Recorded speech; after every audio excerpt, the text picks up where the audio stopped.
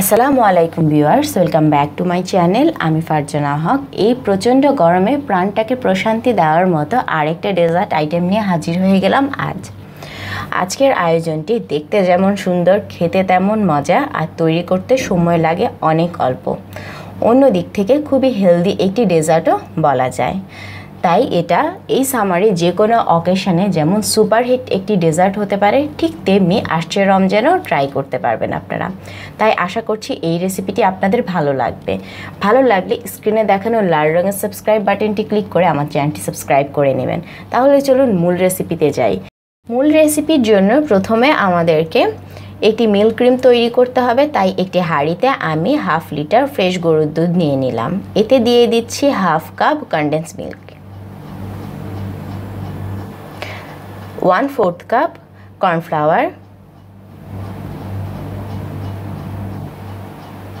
আরও দিয়ে দিচ্ছি one fourth cup Dano cream Nestle cream অথবা ডাবল ক্রিম যারা দেশে আছেন, তারা ইজিলি ডানো ক্রিমটা পেয়ে যাবেন, আর যারা দেশের বাইরে আছেন, তারা নেসলে ক্রিমটা ব্যবহার করতে পারেন। এবার সবগুলো ইনগ্রেডিয়েন্টসকে খুব ভালোভাবে মিশিয়ে আমি চুলার আঁচটা জ্বালিয়ে দিলাম।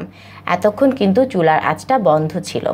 চুলার আঁচটা জ্বালিয়ে এতে দিয়ে দিচ্ছি দুই টেবিল চামচ আধা ঘণ্টা আগে ভিজিয়ে রাখা চায়না গ্রাস। আপনারা চাইলে এখানে আগার আগার পাউডারটাও ব্যবহার করতে পারেন, দেড় টেবিল চামচের মতো। এবার এগুলোকে অনবরত নেড়ে নেড়ে মিশিয়ে ঘন করে নেব। ততক্ষণ পর্যন্ত, যতক্ষণ না পর্যন্ত এই চায়না গ্রাসগুলো ভালোভাবে মিশে যায়। একদিকে চায়না গ্রাসগুলো মিশুক, অন্যদিকে আমি এখানে কয়েক টুকরো কেক স্লাইস নিয়ে নিয়েছি।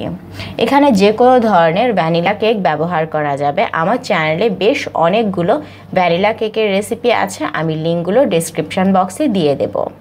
কেককে ঠিক এরকম পাতলা পাতলা করে কেটে আমি কেক মোল্ডের মধ্যে বসিয়ে নিয়েছি। আমার এই কেক মোল্ডটা আট ইঞ্চ। কেক কিন্তু ঠিক এরকম পাতলা পাতলা করে স্লাইস করে দিতে হবে, কোনোভাবে মোটা মোটা কেক দেওয়া যাবে না। কেক স্লাইসগুলো দেওয়া হয়ে গেলে এর উপরে আমি এবার দিয়ে দিচ্ছি একটি কলা। কলাটাকেও আমি খুব পাতলা পাতলা করে কেটে দিচ্ছি। পুরো কেক মোলটার মধ্যে কলার টুকরোগুলো এবার আমি হাত দিয়ে ছড়িয়ে দিচ্ছি। ছড়িয়ে দেওয়া হয়ে গেলে আমি কেক মোলটাকে এক পাশে রাখছি আর অন্যদিকে আমাদের আগার আগারটাও কিন্তু গলে গেছে আর সেই দুধগুলো খুব ঘন হয়ে এসেছে অলমোস্ট লাইক কাস্টার্ড যখন সবগুলো আগার আগার গলে যাবে এবং এগুলো কাস্টার্ডের মতো ঘন হয়ে আসবে, সে পর্যায়ে আমি এগুলোকে হাঁড়ি থেকে এনে খুব গরম অবস্থায় এর উপরে ঢেলে দিচ্ছি। এখানে আমি পুরোটা ঢালিনি, অর্ধেকটা পরিমাণে ঢেলেছি। অর্ধেকটা দিয়ে আমি এর উপরে দিয়ে দিচ্ছি দুই টেবিল চামচ পরিমাণে রুয়াবজা রুয়াবজাকে আমি একটু ছড়িয়ে ছিটিয়ে দিচ্ছি।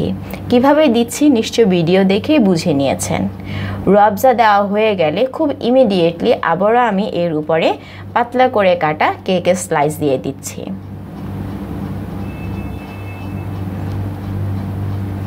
এরকম লম্বা শেপের আমার কেক লেগেছে এখানে টোটাল চার টুকরো। কেক কতটুকু লাগবে, এটা কেকের লম্বা কতটুকু, এর উপরেই ডিপেন্ড করে। কেক স্লাইসগুলো দেওয়া হয়ে গেলে আমি বাকি দুধের মিশ্রণটাও এর উপরে ঢেলে দিলাম। ঢেলে একটু ট্যাপ করে নিচ্ছি যাতে সব দিকে দুধের মিশ্রণটা সমানভাবে ছড়িয়ে পড়ে। বাকি দুধের মিশ্রণটা দেওয়া হয়ে গেলে আমি এর উপরে কিছু চকলেটকে একটু স্লাইসার দিয়ে স্লাইস করে দিচ্ছি। কীভাবে দিচ্ছি নিশ্চয়ই ভিডিও দেখেই বুঝে গেছেন। এবার এটাকে আমি নর্মাল ফ্রিজে রেখে দেব দেড় ঘণ্টার জন্য। ফিরে আসছি দেড় ঘণ্টা পর। দেড় ঘণ্টা পর এবার এটাকে আনমোল্ড করার পালা।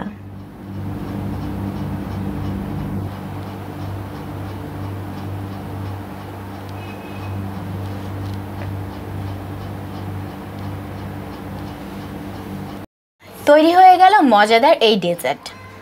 এবার শুধু কাটাকাটি আর খাওয়ার পালা। কিন্তু একটা জিনিস কি অবজার্ভ করেছেন? এর নামকরণটা কিন্তু হয়নি। কারণ এর টেস্টটা এতটাই চমৎকার যে এর নামটা কি দিলে এই স্বাদটাকে আমি এক্সপ্লেন করতে পারব তাই বুঝে উঠতে পারছি না। তাই এই ডেজার্টের জন্য জরুরি ভিত্তিতে সুন্দর সুন্দর নামের অপেক্ষায় রইলাম কমেন্টস বক্সে যদি এই ডেজার্টটি ভালো লেগে থাকে, তাহলে অবশ্যই লাইক বাটনে ক্লিক করবেন। কমেন্টস বক্সে জানাতে ভুলবেন না। আর ফ্রেন্ডস ফ্যামিলির সঙ্গে শেয়ার করা আন্তরিক অনুরোধ রইল। আবারও ফিরে আসব নতুন ভিন্ন ধর্মী কোনো রেসিপি নিয়ে। আজকের জন্য আল্লাহ হাফিজ। সবাই ভালো থাকবেন, সুস্থ থাকবেন। আমার জন্য দোয়া করবেন, যাতে আমি এরকম ভালো ভালো মজার মজার রেসিপি নিয়ে আপনাদের সামনে আবার হাজির হতে পারি।